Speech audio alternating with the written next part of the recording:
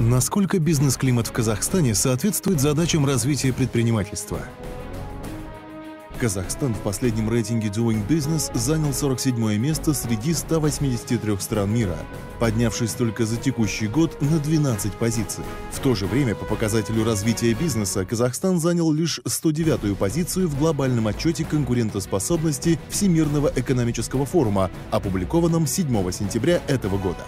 На сегодняшний день из 2,5 миллионов предприятий малого и среднего бизнеса активны только 27%, и это число снижается. В чем причина? Какова в этом роль налоговой системы? Власти бизнес имеют разные точки зрения на эту проблему. Бизнес-климат Республики Казахстан сложившийся. Налоговое законодательство было принято в 2009 году. Определенные шероховатости были, они сейчас откорректированы. Идет процесс э, выстраивания налогового администрирования. Если какие-то моменты возникают, в основном массе из-за, может быть, разночтений со стороны налогоплательщиков и э, налоговых органов. У нас сегодня хорошие ставки относительно таможен стран таможенного союза, но, к сожалению, все эти хорошие ставки нивелируются за счет плохого администрирования. У нас очень сложное администрирование, сложная форма отчетностей, и это все сводит на нет все, все, все, все лучше, что есть от наших ставок. У казахстанских политиков свое мнение по этому поводу. Если что касаемо бизнес-климата в Казахстане, то нельзя сказать, что он плохой.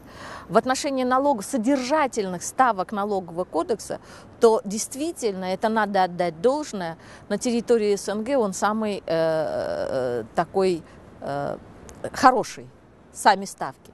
Но, к сожалению, я об этом уже говорю несколько лет, сам порядок администрирования налоговых органов сводит на нет всю позитивную содержательную часть нашего налогового кодекса. В целом налоговое администрирование у нас э, полностью сведено исключительно к желанию или нежеланию чиновника и часто зависит от того, какие отношения у э, бизнеса с тем или иным конкретным небольшим, маленьким чиновничком, клерком, который сидит в налоговом комитете. Эти и другие вопросы ведущий дискуссионного клуба Нурлан Ерембетов предложит обсудить экспертам, политикам, бизнесменам и чиновникам.